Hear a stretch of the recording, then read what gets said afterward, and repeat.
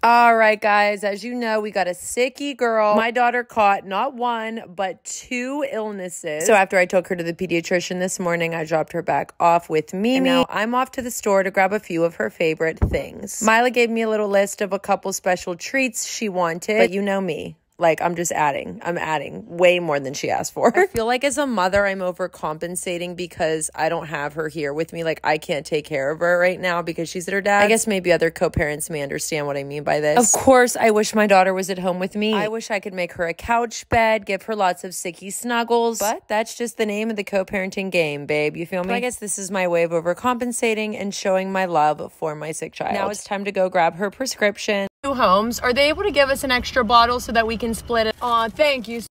Her prescription's in here. Had him fill two. I noticed her lips were really chapped, which I know happens when she gets sick. Mom duties are done. I'll talk to you guys soon.